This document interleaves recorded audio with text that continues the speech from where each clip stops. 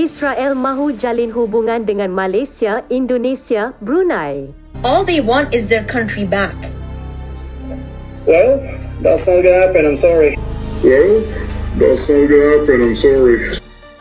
Duta Israel di Singapura menyatakan Israel bersedia menjalin hubungan baik dengan tiga negara Islam di Asia Tenggara, lapor akhbar The Jerusalem Post kemarin.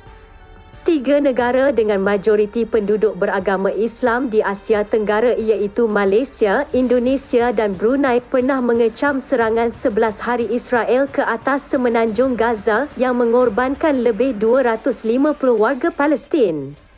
Malaysia, Indonesia dan Brunei menggesa Pertubuhan Bangsa-Bangsa Bersatu PBB supaya campur tangan untuk menghentikan serangan tidak berperi kemanusiaan ke atas penduduk Palestin. Tiga negara itu tidak mempunyai apa-apa pertalian rasmi dengan Israel dan berulang kali meminta penjajahan ke atas wilayah Palestin di tebing barat oleh rejim Zionis ditamatkan.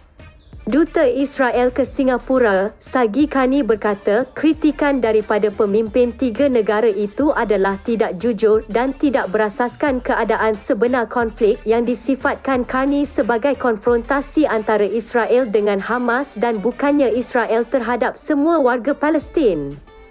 Hamas adalah sebuah organisasi anti-Yahudi dan saya tidak tahu berapa ramai individu di media sosial yang benar-benar faham betapa radikal dan fasisnya Hamas katanya.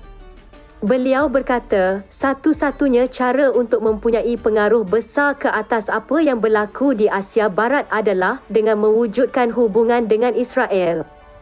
Kami bersedia untuk berbincang dan bertemu.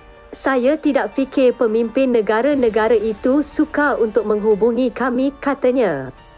Israel mempunyai kedutaan di negara-negara lain di Asia seperti Vietnam, Thailand, Myanmar dan Filipina. Empat buah negara Arab iaitu Emiria Arab Bersatu, Bahrain, Sudan dan Maghribi bersetuju menjalin hubungan diplomatik dengan Israel di bawah perjanjian yang ditaja oleh Amerika Syarikat.